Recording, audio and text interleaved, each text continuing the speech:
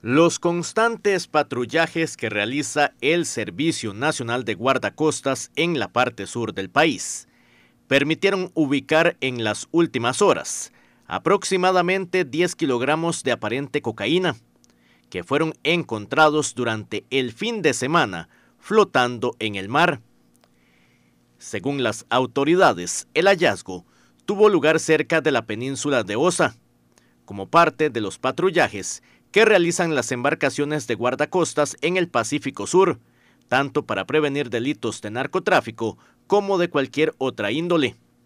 Los paquetes fueron subidos a bordo de una de las lanchas de guardacostas a fin de que las autoridades judiciales de nuestro país realicen las pericias correspondientes.